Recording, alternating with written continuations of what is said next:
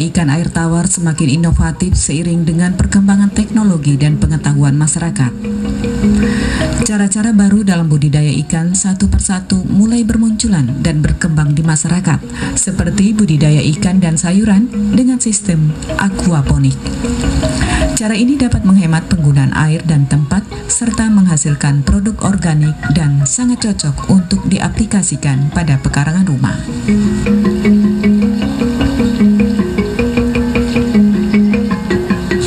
Aquaponik adalah sistem produksi pangan yang menggabungkan budidaya hewan air dan tanaman.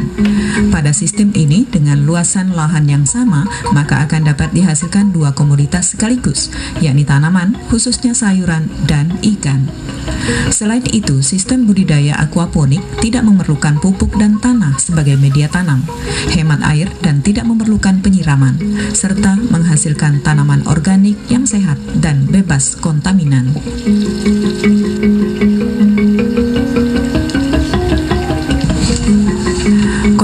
Ikan yang sering kali menimbulkan masalah karena bau yang tidak sedap dan membuat kolam menjadi kotor ternyata bisa memberikan manfaat. Sisa pakan yang ditebar di kolam yang tidak termakan oleh ikan dan mengendap di kolam pun bisa bermanfaat pula. Kedua limbah yang berasal dari hasil budidaya di kolam ikan tersebut dapat dimanfaatkan untuk aquaponik. Jadi kita kembangkan di lahan yang sempit ternyata kita bisa berbudidaya double. Jadi kita menggunakan tanaman tanaman-tanaman sayuran ditambah juga dengan uh, ikan dengan ikan ikan lele mutiara yang kita kembangkan. Tebarannya juga padat. Harapan kami ya pendapatan masyarakat juga baik juga bisa mengelola. Karena pakannya akan berkurang ya toh. Jadi pakannya tidak semua pakan dari pabrik tetapi uh, apa pupuknya ini bisa digunakan untuk tanaman tapi tanaman ini nggak usah dipupuk dengan apa pun dia hanya dengan kok ya sisa-sisa makanan dari dari ikan itu ternyata bisa meningkatkan pendapatan dan dan produktivitas dari sayuran itu baik. Aquaponik terdiri dari dua bagian utama, yaitu bagian aquakultur, digunakan untuk menternak hidupkan akuatik, serta bagian hidroponik digunakan untuk membesarkan tanaman.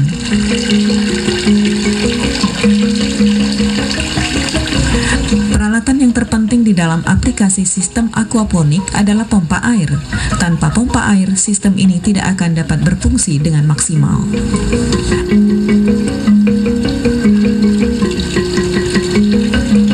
Integrasi tanaman dan ikan atau yang dikenal dengan Yumina dan Bumina ini, air bernutrisi dari pakan dan kotoran ikan dengan ketinggian 30 cm dialirkan melalui pompa akuarium ke pertanaman menyerupai rak setinggi 80 cm.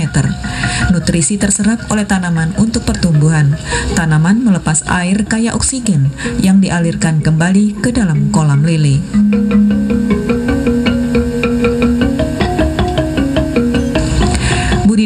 Lele dan sayuran maupun buah-buahan terintegrasi ini pada dasarnya menerapkan prinsip aquaponik, yakni kombinasi dari aquakultur budidaya ikan dan tanaman. Dalam aquaponik, air yang mengandung nutrisi yang dihasilkan dari budidaya ikan merupakan sumber pupuk alami untuk tanaman yang tumbuh. Sendiri mengkonsumsi nutrisi dan membantu untuk memurnikan air bagi kehidupan ikan, sehingga merupakan sebuah proses mikroba alami yang menjadikan antara ikan dan tanaman tetap sehat. Hal ini menciptakan ekosistem yang berkelanjutan, di mana kedua tanaman dan ikan dapat berkembang.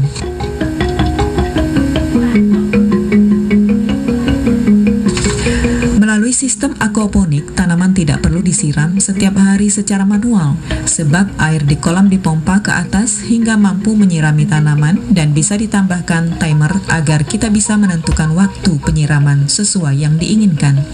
Kita hanya perlu memberi makan pada kolam ikan yang pada akhirnya bisa mendapat sayuran dan ikan segar. Keuntungan aquaponik untuk kolam dan ikan itu sendiri adalah kebersihan air kolam tetap terjaga. Air tidak mengandung zat-zat yang berbahaya bagi ikan karena sudah melalui proses filtrasi.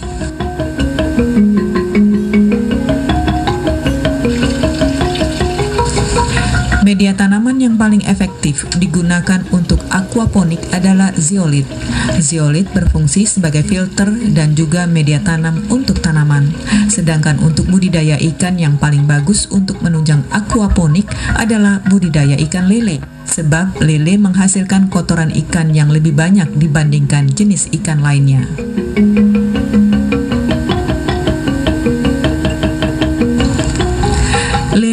Juga termasuk ikan yang konsumsi pakannya tinggi. Dengan adanya konsumsi pakan yang tinggi, otomatis akan menghasilkan kotoran yang banyak pula akibat sisa pakan yang tidak termakan. Banyaknya kotoran yang dikeluarkan oleh ikan lele dan sisa pakan yang mengendap di kolam menjadikan pertumbuhan tanaman menjadi sangat cepat. Keuntungan untuk hasil panen dari sayuran yang dikembangkan melalui aquaponik adalah tanaman lebih hijau, segar, awet, dan tidak mudah menguning. Selain itu, sayuran menjadi lebih sehat karena bersifat organik. Sebab selama masa tanam sayuran tidak menggunakan pupuk kimia dan pestisida karena hanya menggunakan limbah dari kolam sebagai pupuk alaminya. Ya memang investasi pertama dia dengan bangunannya ya mungkin tapi bangunannya kan tidak sekali pakai ya. Jadi mungkin bisa sampai 5-6 tahun masih bertahan. Cuman kita hanya paling-paling mengganti eh, apa potnya potnya yang yang setiap setiap hari digunakan dan mungkin ada sesuatu yang rusak perlu kita ganti termasuk media. Tetapi ini investasi awalnya bisa dihitung nanti kita. Sedang kita analisa asa, analisa usaha taninya juga bagaimana. Dan program aquaponik ini sekarang sudah dikembangkan secara melembaga di tingkat nasional menjadi salah satu model untuk pengembangan kawasan di pedesaan. Aquaponik bisa diterapkan di rumah, di kebun, ditanam dan lahan kosong lainnya asalkan adanya kemauan kemauan untuk mencoba teknologi tersebut.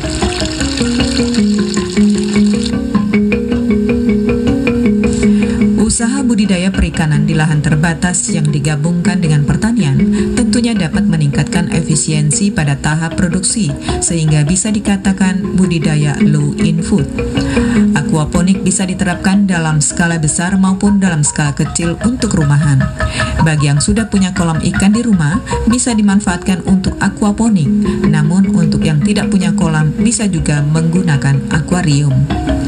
Selain hasil tanamannya bisa dikonsumsi, penerapan aquaponik di akuarium juga bisa menambah estetika di dalam ruangan rumah dan akan membuat rumah menjadi lebih hijau depan agar sistem ini terus berlanjut dan para petani yang hanya menanam tanaman atau peternak ikan bisa menggunakan sistem ini karena memiliki banyak sekali keuntungan.